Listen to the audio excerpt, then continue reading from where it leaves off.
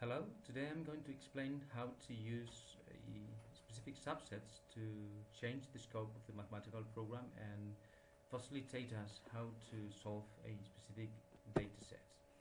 For that, uh, I'll explain the following thing and then we will go to, to AIMMS.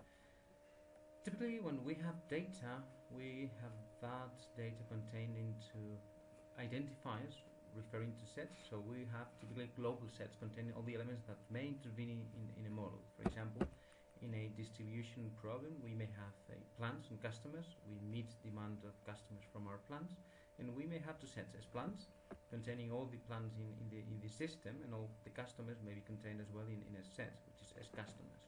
And we may want to have specific sets which contain specific elements of the previous sets. So we may have in our model two, two sets which are S plants to solve and S customers to solve, where these two sets contain elements from the previous set, but only a subset, a, a, a, a set of particular elements, which are those that will intervene in our uh, mathematical program that we may want to restrict for some reason. So let's go to AIMMS, and here we have a project corresponding to the problem within the tutorial for beginners which you can download from the AIMMS website. And first we have a declaration for input data and we have as customers and as plants we go to check our data. We have a large data of customers in all I think it's 145 and if we go, if we go to as plants we have as well a set of plants or, or, distribution centers from which we, we meet our customers demand. Okay.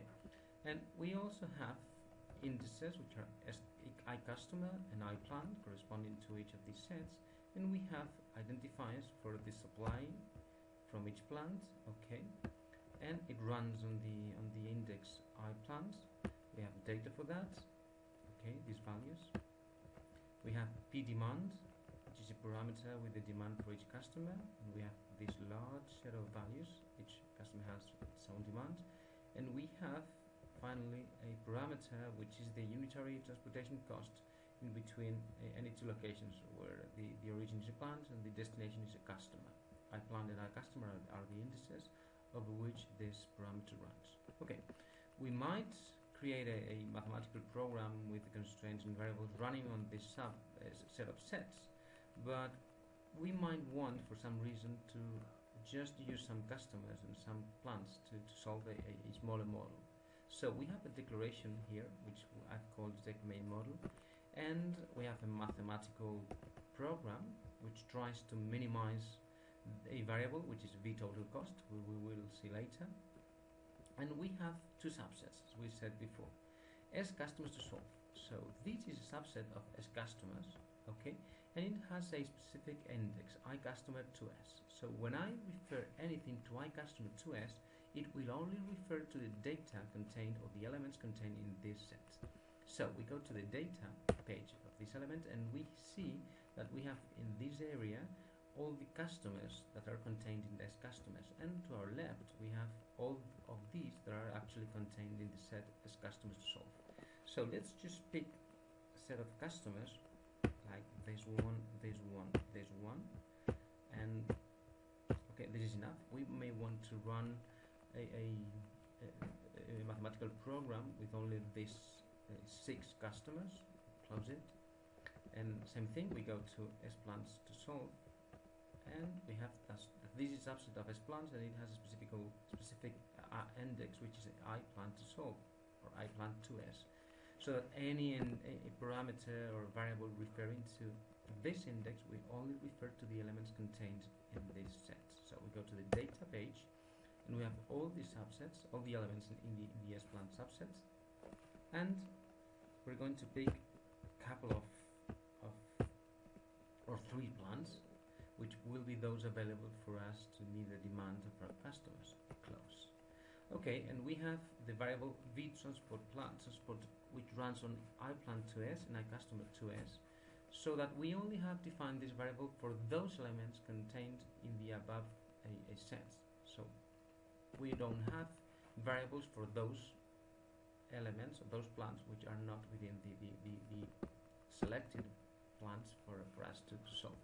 And we have three constraints. First, we have the supply, which runs on every plant. So for solve for iPlant 2S, we have to impose that we cannot provide more product from every of these plants, from each of these plants to the customer selected for for for for, for, for being attended with this plant.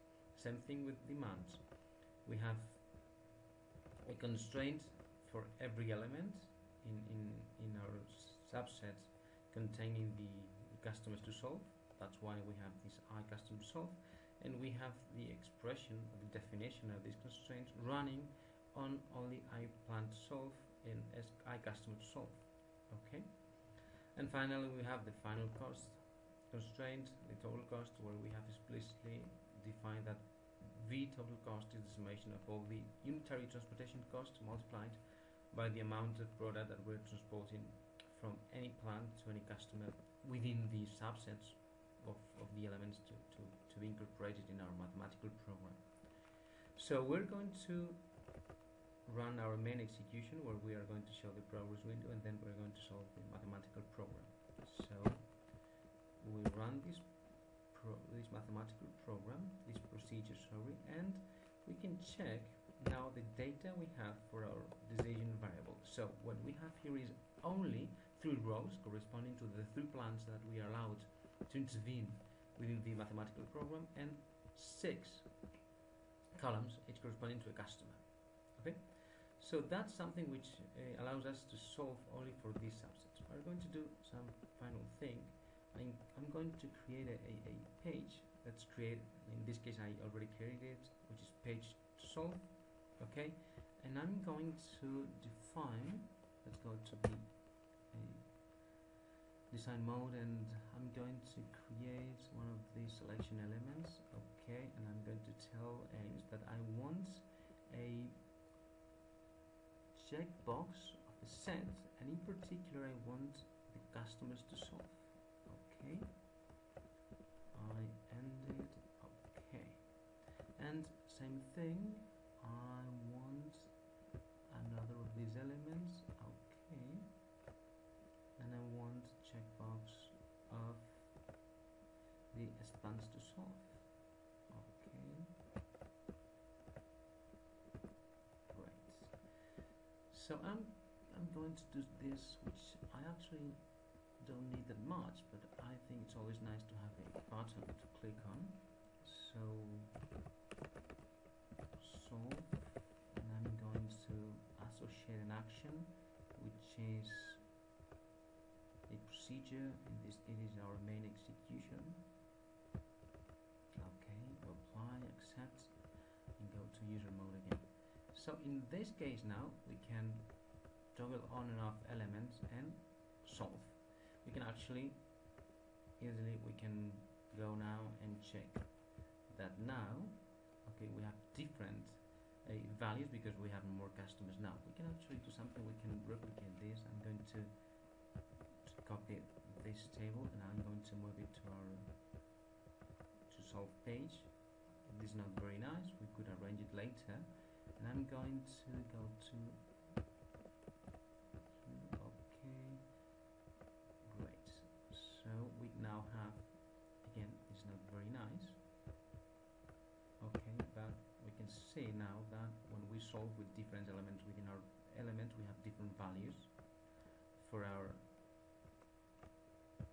elements in, in this pivot table. So, back to our presentation, this allows us to manage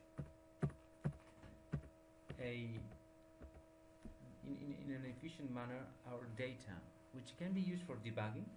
Sometimes we may not want to use the whole data set because it's too large and we don't identify the, the, the we don't make sense of the value that comes out of the model. We want to work with only a couple of elements or a small reduced number of elements to, to make sure that the model is doing what we want it to do.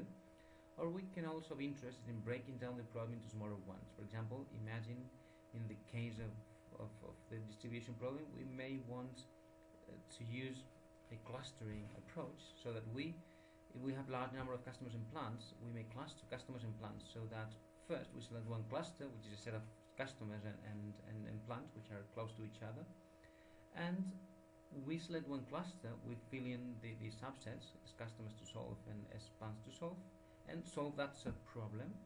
We store the solution somewhere in, a, in, in specific identifiers, and we do this over and over again until no clusters are left. And then, of course, we need to make sense of the whole set of, of, of the individual uh, uh, information we have gathered from, from this uh, clustering approach. But this way, we may end up being able to address, in not in, in, a, in a effective at least manner, something which is too large to, to solve in a, in a single mathematical problem. And uh, this provides us with some advantages. It is very easy to change the model scope in terms of what elements intervene.